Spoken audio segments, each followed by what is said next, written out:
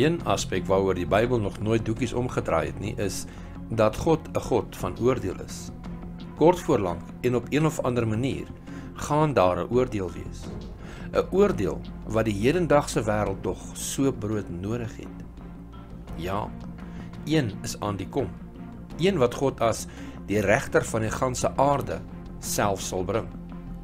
In die verband voeg Paulus by: Elkeen van ons sal dus oor ons eie doen en late voor God verantwoording moet doen. Romeine 14 vers 12 Nuwe Lewende Vertaling. Dit maak 'n mens nogal benoud, nie waar nie? Om rekenskap te gee voor God, die God aan wie die diepste geheime bekend is. Hy wat elke daad gaan beoordeel, ook wat jy in die geheim gedoen het of dit goed of kwaad is. Prediker 12 vers 14 Nuwe Lewende Vertaling. Nietemin openbaar die oordeel uiteindelik die goedheid en genade van God dat hy regverdig en barmhartig in sy optrede teenoor die verlosters en selfs die verlore gaandes is.